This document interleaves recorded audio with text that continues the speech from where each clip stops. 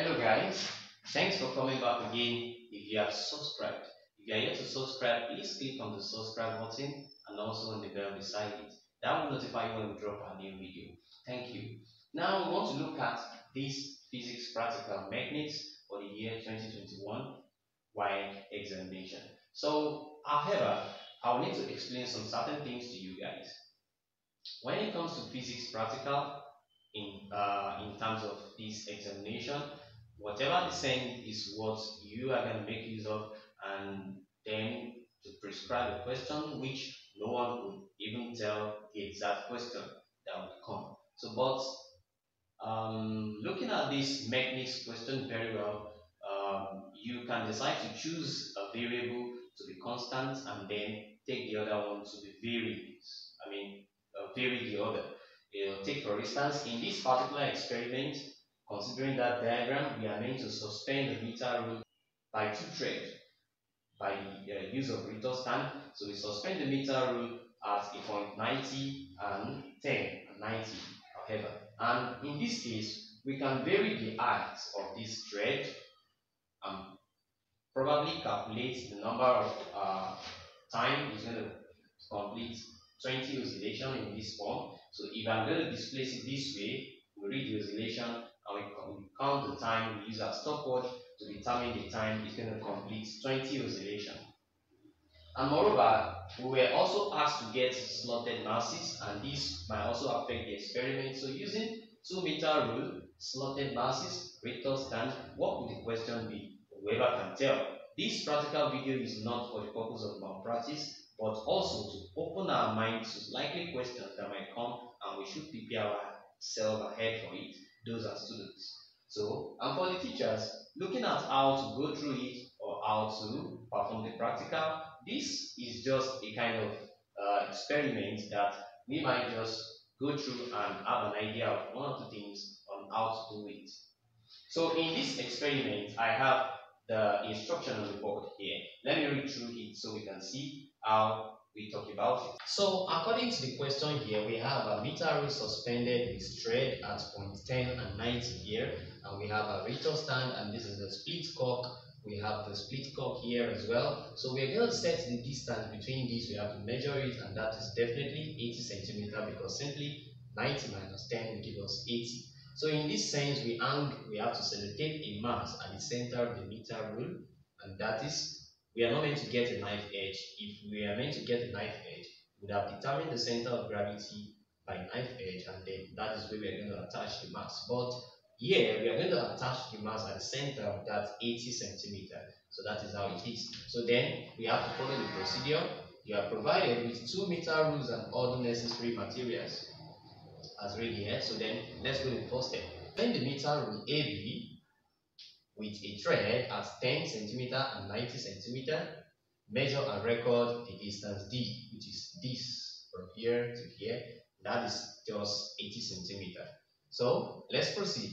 Measure and record the height H of the thread on both sides should be 40 centimeter. So which means the height of the thread should be what? 40 centimeter.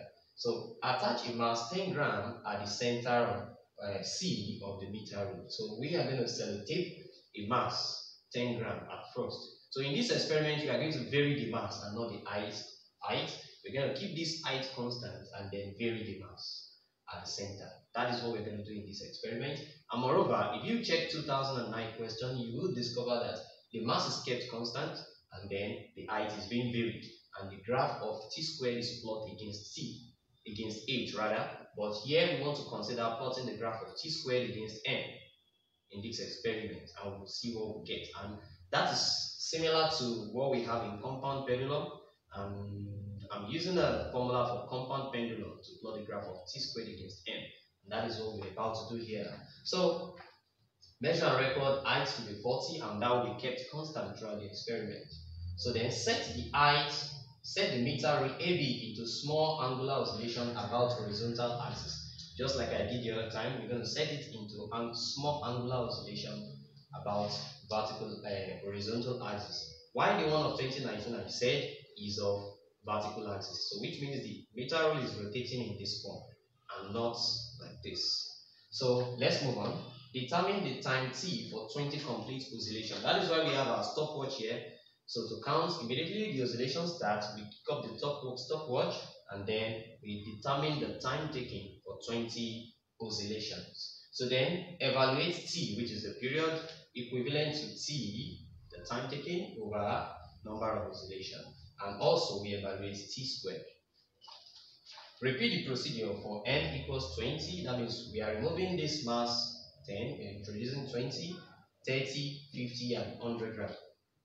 So tabulate your readings. So let's make a table for our readings where we have our masses and the time should be recorded in two decimal places, while these evaluations should be recorded in three decimal places. And however, the values of which you are meant to make constant or measure should be recorded at the top of your table. Hereafter, we go about the graph plotting. So we plot the graph of t squared on the vertical axis and m on horizontal axis. We determine the slope of the graph and the intercept on y-axis. Then the experiment proceed. So now let's start the experiment and see how it goes. Let's go for the experiment and the first thing is to attach the mass 10 gram at the center of the meter rule. So if you look at the center very well, you will discover that that, is, that should be at 50. So I'm going to get a tape, I'm measuring that and I'm sellotaping it at the center. So that is what I'm doing right here.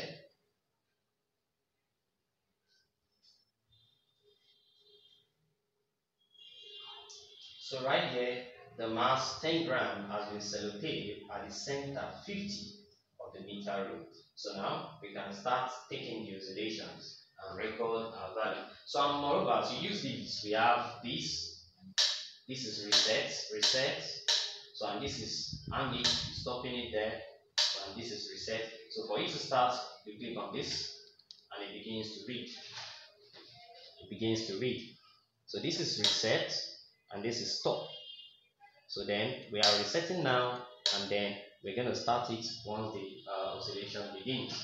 So ensure that the, the mass is sellotaped very well in order not to cause uh, variations in your experiment. Okay, good. Let's retake the measurement of the eyes. Like I've said, it should be 40 and that should balance up. You know, I'm going to take 40 all the way from here. That is corresponding to the side of the thread. So that means this is not up to 40, then I have to stretch it up to meet the meter rule at 40.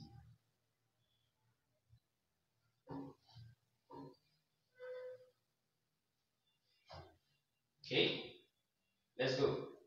40.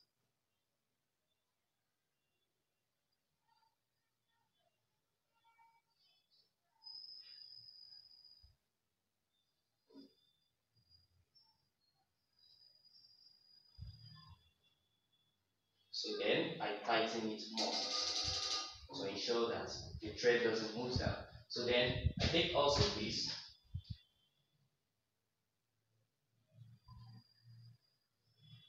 And that is more than 40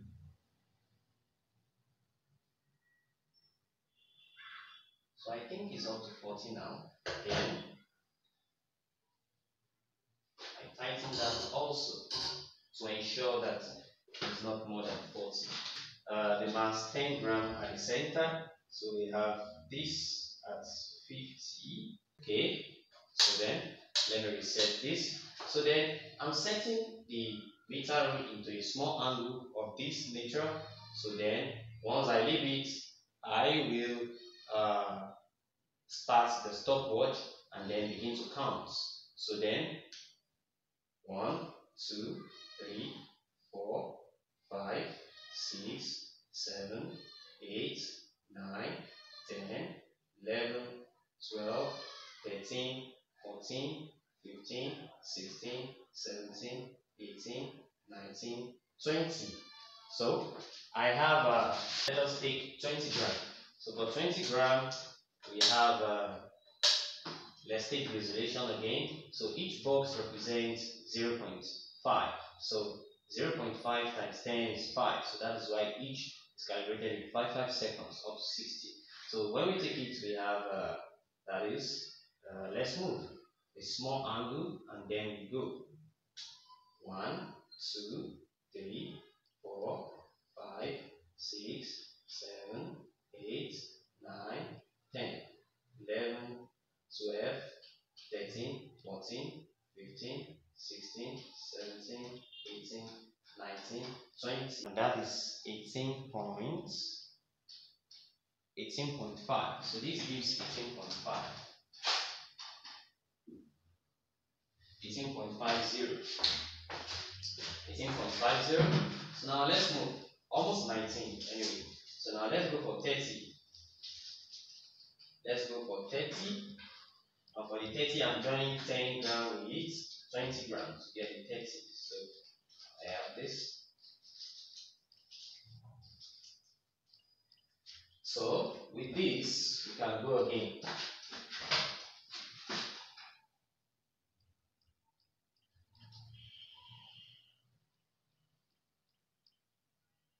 Okay.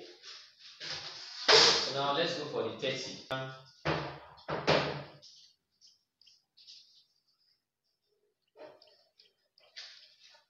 Reset. So then I displace in small angle. I can decide to take the other side as well, so there is no problem about that. So taking through this side, I have one, two, three, four, five, six, 7, 8, 9, 10, 11, 12, 13, 14, 15, 16, 17, 18, 19, 20. So, and that gives 18 straight away. So I have 18. 18.00 rather. Just slight difference just slight difference. So now let's move to I have done for 30, so let's make let's make 50 the next one. So for 50, let's see how it goes. This is 50 gram. Let's see how it goes. So then we reset again. We reset these again and then we go. So for 50, what are we going to have? 1, 2, 3, 4, 5, 6, 7, 8, 9, 10, 11, 12, 13, 14, 15, 16, 17, 18, 19, 20. So that gives me 17.5 yeah.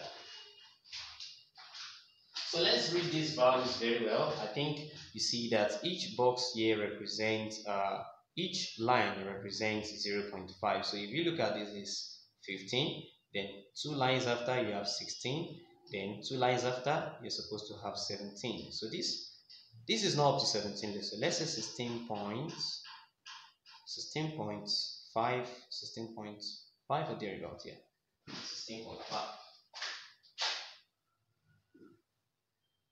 Close to 17, 16.50. So now let's take the last mass, which is 100 gram. 100 grams. So and for the 100 gram, I am merging 50 and then 50 together. So get 100. So that is what I have here. So 50 50 is 100. So all about this experiment, we are keeping the height constant and varying the mass and see what effects would that have. And possibly it might not be exactly this you would meet in your exam. It might be in terms of varying the height and some other things. So but this is just an idea of what you're going to meet. So now we have this. So now let's move. One, two, three, four, five, six, seven, eight, nine, ten, eleven, twelve, thirteen, fourteen, fifteen, sixteen, seventeen, eighteen, nineteen, twenty. So that gives me, let's take a look at this. It gives 15.5. Great. 15.50. So now that we have we are done with the experiment, so we can evaluate our t and t squared. So let's see how we go about that. Now here we go for the table and evaluate what we have in the table. So to find our t, we're going to have that's t, which is 19 all over 20. And that gives us 0 0.95. Actually, I'm going to put that in three decimal places. So that's 0 0.950. So then the next one I have 18.50 all over 20. So that gives me 0 0.925. 0.925. So then the next one I have um, um, 18 over 20 and that gives me 0 0.900 so then I have uh, 16.5 all over 20 and that gives 0 0.825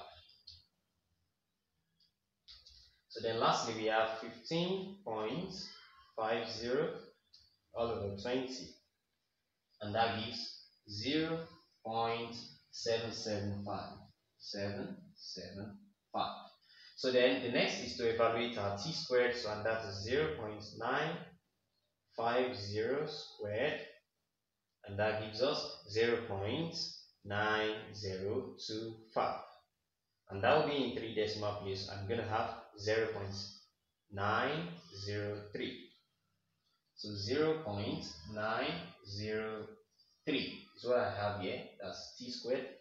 So let me repeat that again. 0 0.950 squared. 0 0.903. So then I have 0 0.925 all squared. So that gives 0 0.856. 0 0.856. That is what it gives. So then the next one we have 0 0.9 squared and that gives 0 0.81 and that should be 0 in three decimal place. So then we have uh, 0 0.825 all squared. So and that gives 0 0.681 in three decimal place. Then lastly we have 0 0.775 all squared. So that is zero point six zero one. So that happens to be the value. So and then the next thing is to plot the graph of t squared against n. Let's see how we plot the graph right here on the board.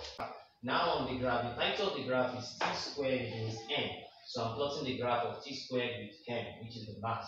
The scale on x-axis is 2 centimeters to 10 gram.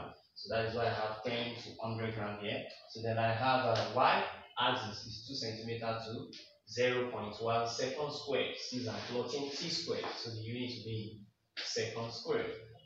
So which means I'm going to have 0.1 to 1 here. So now we can start putting the values into um, their uh, what's it called the graph and moreover I have 10 boxes here actually the small boxes. So which means if 0.1 happens to be 2 centimeter definitely that means we're going to have each box to be 0.01 so it should be able to, it should be able to accommodate some values here. So like 0 0.90 0 0.86 can take this to be that and 0 0.81, 0 0.68 and 0 0.60. You should be able to accommodate those values. So now picking it from here, we have 0 0.95, sorry, we have 0 0.90 and that goes for uh, t squared. So 0 0.90, I have 0 0.90, this is it. So we take it to n, which is 10 grams. So 0 0.90 goes for 10 grams.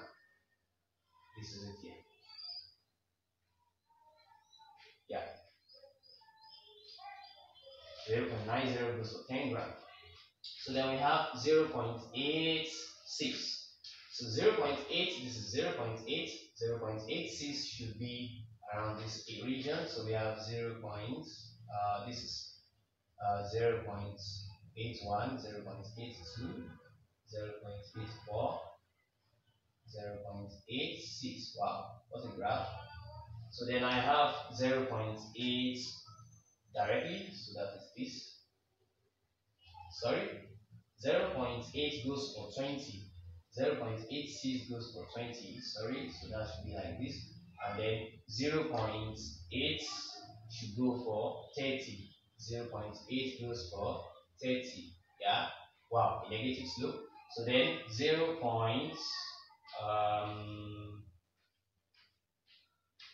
sorry, uh, yeah, 0 0.68, 0 0.6, this is 0 0.6, and that goes for 40. So this is 1, 2, 3, 1, 2, 3. So 0 0.68 goes for 40. 0 0.6, so 0 0.68 should be uh, is 0 0.62646668 and that goes for 40 so let's take that goes for 40 and we have 0 0.6 actually goes for 100 sorry it goes for 50 so this 0 0.68 goes for 50 not 40 and then 0 0.6 goes for 100 so we have 0 0.6 to 100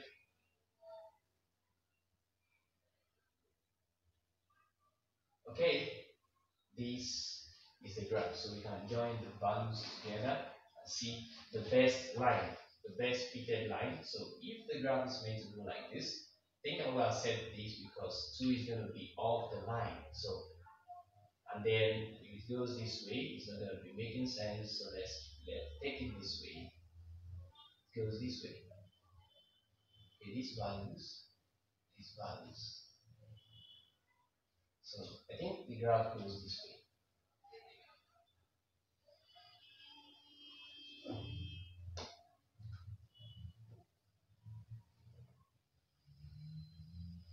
So then I have an intersection here on y-axis. Actually, it's a negative slope graph. Okay, It's a negative slope graph and then we have our intersection. So we can take the slope of the graph actually from any points and that would be. So if we take it from one down here or let's say here downward to this point. So we can take the slope as that. So and that would be 110. So this is changing m and this is changing c squared. So it gives a negative slope, and that is quite alright. So it gives something reasonable. So which means we're going to have slope s equals change in t squared over change in n. So and that will give us change in t squared. We have the t squared here to be uh, 0 0.86. 0 0.86.